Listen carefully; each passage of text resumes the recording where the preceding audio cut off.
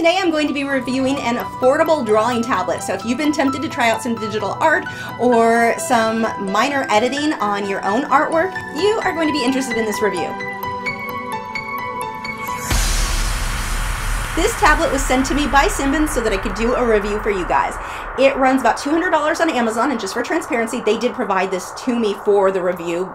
All of the opinions in this review are my own, though. $200 for a tablet that comes with a drawing pen for digital painting, that is really, really I don't want to say inexpensive because anytime you get into tech, it's I guess that's an, a relative term, but it is one of the more affordable tablets available to you. So Simbans says that their target for this product are students or those who are beginners at digital art. So it's obviously not going to be for everybody. I'm a bit of an Android slash, I guess, Samsung fangirl. Those are the products that I'm used to working with. And there is a bit of a difference quality wise and even app wise what comes loaded on this product versus those. So it's not that it's going to be the same, but I was impressed that it still worked a lot better than I was expecting, considering that price difference, because there is a big price difference between this and the ones that I've used before. I've also, I have my 27 inch Wacom tablet, 27?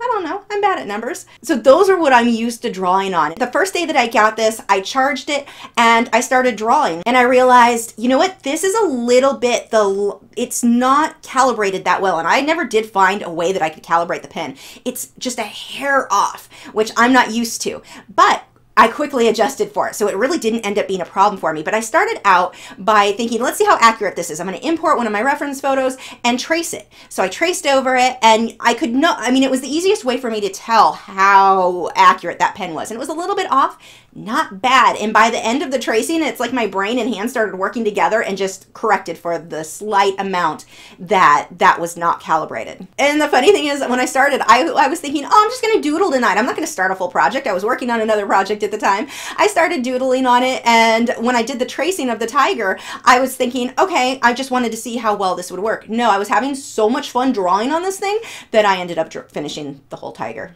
You can't blame me. It is fun to draw dig digitally if you've never done it it before. Now, here's the cool thing. If you haven't drawn digitally before, there is not a very big learning curve for that. It's very similar to traditional media. The way that you layer, the way that you blend, and you're going to have to learn the app that you're using, whichever one you use. This one comes with the free version of Autodesk Sketchbook Mobile, I believe it is.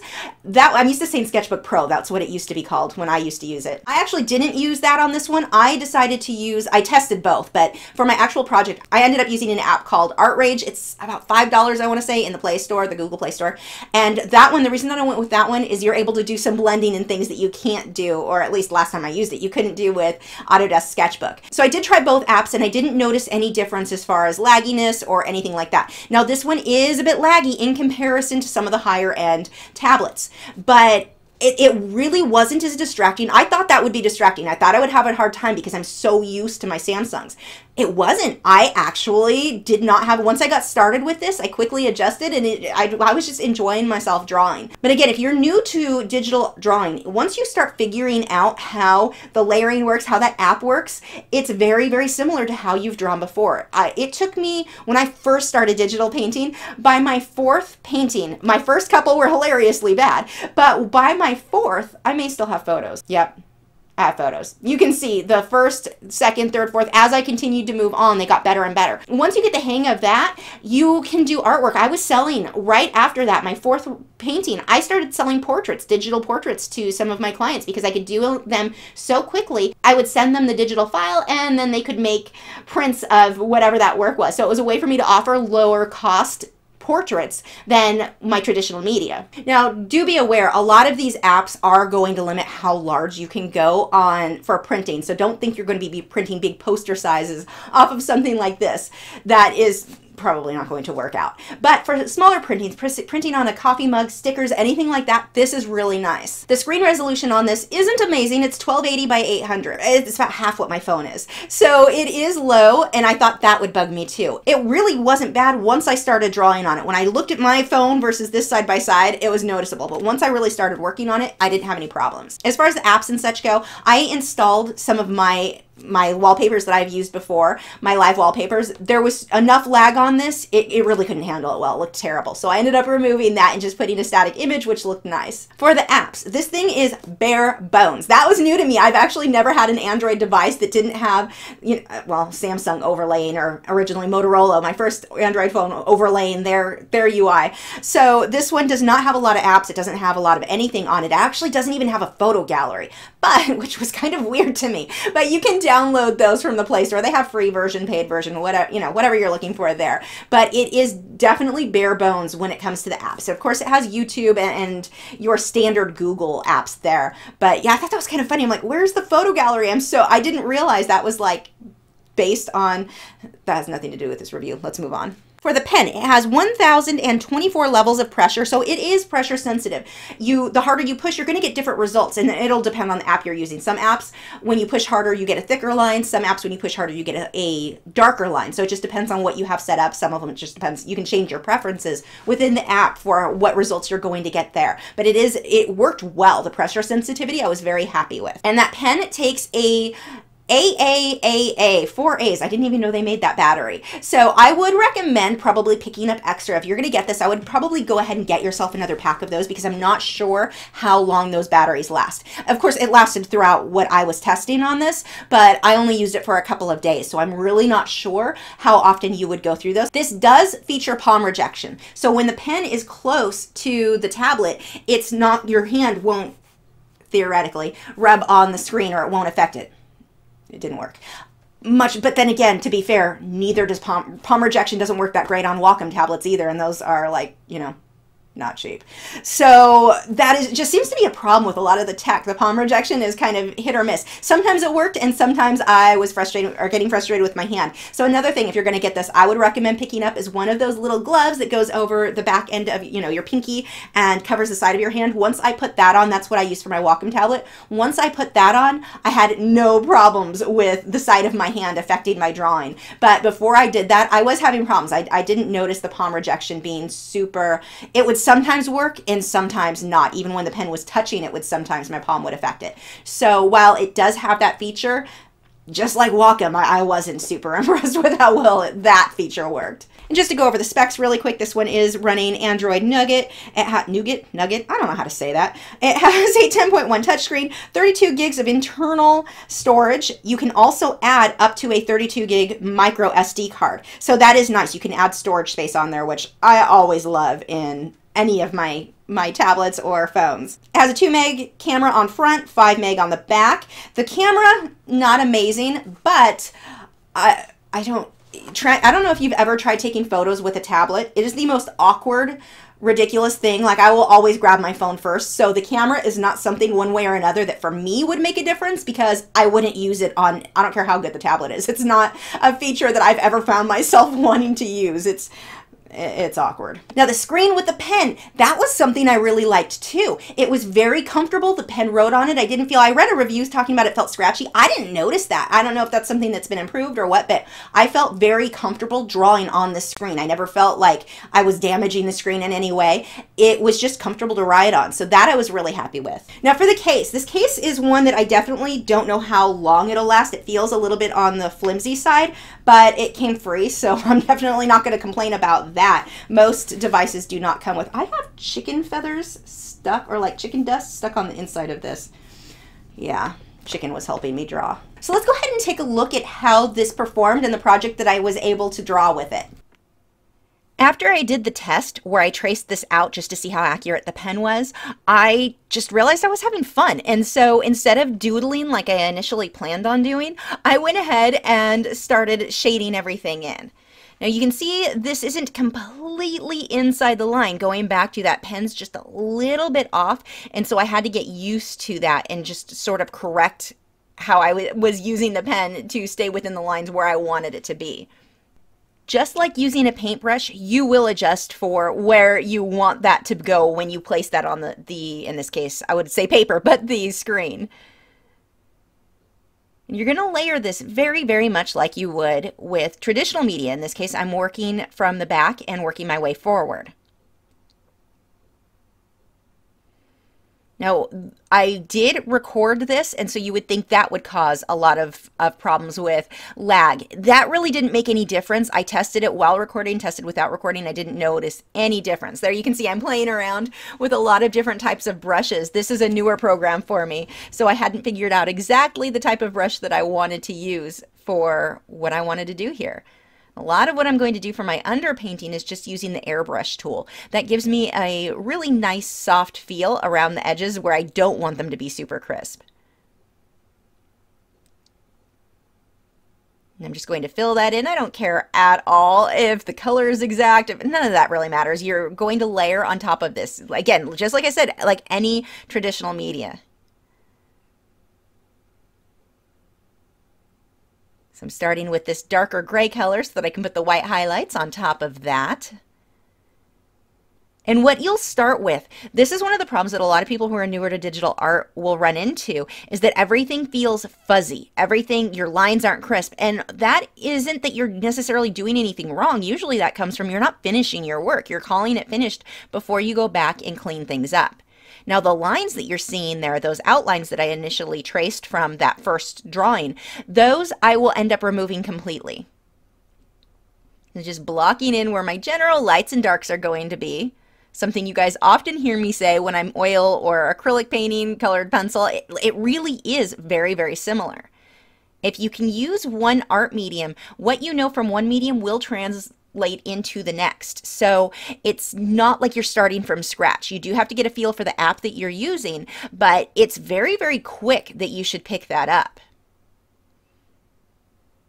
And again, I don't have to worry at this stage about my outer edges being perfectly clean. I'm going to go on top of all of this and clean stuff up later. Now, see the little color tool thing that I'm using at the bottom? Color tool thing, technical term there. But see how I'm able to adjust that and move that as I'm picking my color. This is one of the things that I love about digital art that I think translates well or really teaches you a lot about color. It makes it very easy to see the color that you want and tell based on that little corner thing how is it more gray? Is it a real highly saturated color? It will teach you a lot about color and blending and mixing, figuring out what color you want for any given thing. I love that about digital painting. And no matter which app or which program that you use for digital painting, you're going to have something very similar where you can see with the eyedropper tool, you can see what color you're using. Like here, this cream color, it's a grayish cream. I'm not super far to the one edge or the other, so it's not too gray. It's kind of in the middle, not super gray, not super saturated. And it really does help you to understand color a little bit better. When you see that on a color wheel of sorts, where that color you're mixing, what that lines up with.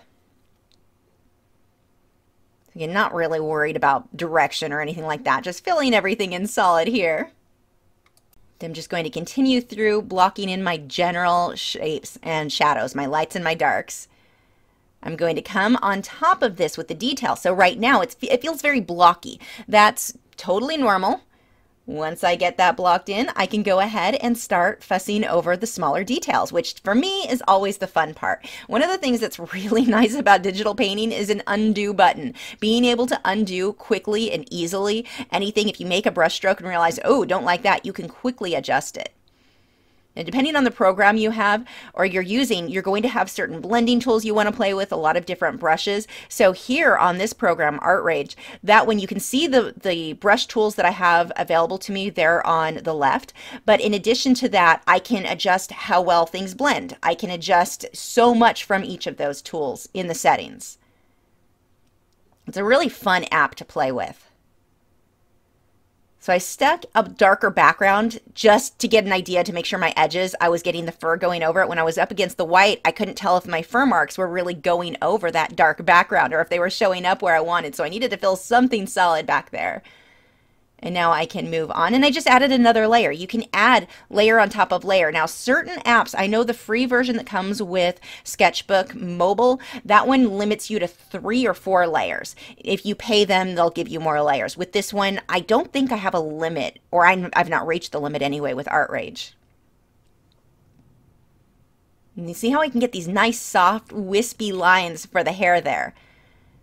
And that most, like I said, most of what I'm doing here is going to be with the airbrush tool. Where I want more crisp lines, I can switch over to, I've got that mechanical pencil tool or some of the other ones, a paintbrush in there if I want a more harsh line. But I really like the airbrush tool and you can adjust how opaque you want each of your brush strokes to be. And because the pen on this tablet is pressure sensitive, depending on how hard I push, it would affect how dark that line was. So if I wanted it to be really translucent, really small, where I get that sort of dagger brush stroke, it just how I'm how much pressure I'm adding to the pen. Really, really nice to work with. So it feels more like if you were working with a pencil or a paintbrush, the amount of pressure that you're adding would affect that type of brush stroke. And that's the same here when you're using a pen like this that is pressure sensitive layering more of the hair and you can add as much detail as little detail I mean you're not limited to how realistic you want to go. When you're painting digitally this one has a more stylized feel I'm not going super realistic but you can. You can absolutely make it look like a photograph. Or you can paint with especially with this app you can get a lot of very stylized type of brush strokes so if you wanted something that looked more impressionistic you can definitely do that. You're there, there's just so much potential on the type of art that you're creating when you are painting digitally. And the nice thing is, it's not as scary as, let's say, grabbing a new canvas. You're new to painting, grabbing a canvas. You're afraid to mess up because you don't want to waste supplies. When you're painting with, which you shouldn't be afraid of doing, by the way, but that is a normal feeling. When you're painting digitally, you're not as likely to have that feeling because you're not wasting, you know, if, if you do a painting and you absolutely hate it, you don't feel like you wasted anything. You're not going through supplies. So you've got that initial investment on the tablet, but the supplies themselves don't run out. Well, you know, besides batteries. You can just you look how much of this is very similar to how I paint with the way that I'm layering here and building up these shadows and then going on top for my details. These little hairs, as I was doing those, because I draw them on really quickly. That's where I really noticed lag on the tablet, where I would draw the hair and a, a second later the hair would actually show up. But I go through so quickly that it wasn't a real problem. When I first, I made a couple of, of strokes just testing that, and it was a. At first, I was thinking, "Ooh, I'm not going to be able to work on this," but I was surprised at how quickly you you just don't you stop noticing it you just keep working and assume the, the, line is going to show up a second later where you wanted it and move on to your next line so i wasn't having to make a line wait for it to show up and then move you know pause and then move on i just made the brush stroke and assumed it would show up where i wanted it to getting more shadows in here and the really great thing, one of my favorite things about painting digitally, if I have a layer and I, I put a layer on top of that and I realize that first layer, I really wish I had gone a little bit darker or lighter, I can go and make adjustments on the layer underneath and it doesn't affect the top layers. So you, you have more, a little bit more control versus traditional media and then I can go back and adjust just one of the other layers without affecting the ones on top, those final layers. You can put in tons and tons of detail with the brush strokes here for the fur if you want it, or leave it a little bit more loose like I've done here.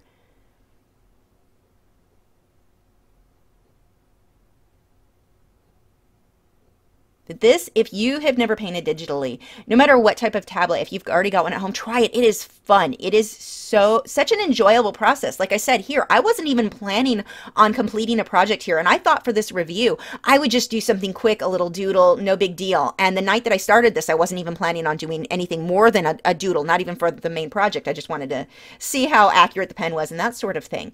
But I started having so much fun drawing that I just had to go ahead and finish it.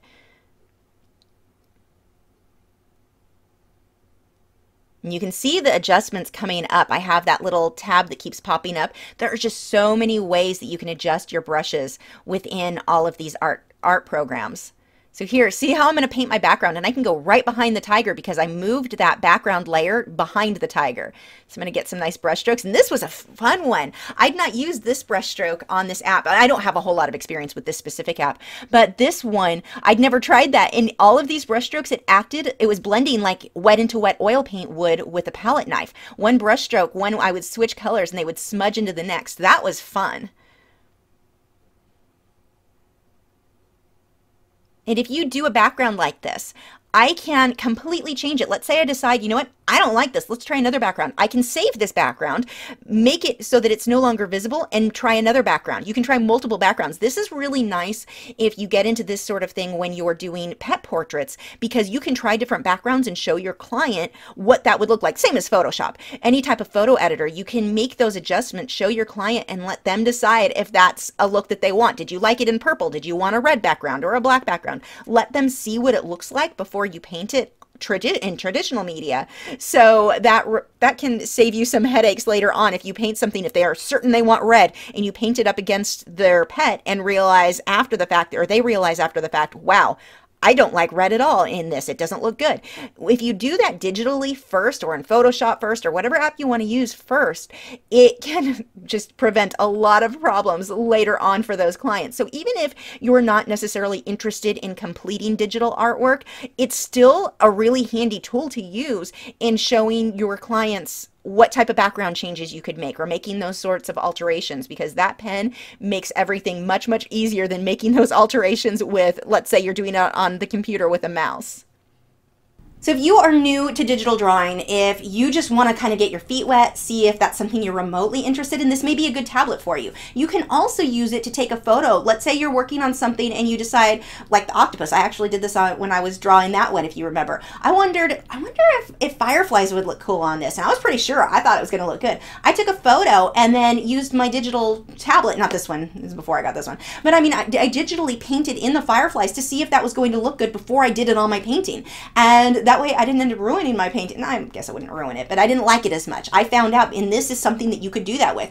Even if you don't want to get into digital painting, if you have any type of drawing tablet, try drawing on it and seeing on your artwork when you decide, hey, I wonder if a blue outline on the shadowed area here would look good. Try that digitally first before you do it on your, your traditional media, your canvas, and that will save you some headaches. And sometimes it makes you feel free, more free to try things you wouldn't otherwise try because you're afraid it might not look good. So that is something that I love about digital art, even if you don't want to get into actual digital painting. The things that you can do to try things out on your work, just taking a photo of it and try that out before you hit the canvas can save you a lot of headaches. Now, I've already had some people ask if this is a tablet I would personally buy. It wouldn't make sense for me because I've already got the Wacom tablet. I'm actually going to be buying another Samsung. I'm I'm so I'm such an Android fan girl. Like it, it's bad, and I like tech stuff a lot. So for me, it doesn't make sense because I already have some of these other tablets. So this is not at the, it, it doesn't run as smoothly as those do.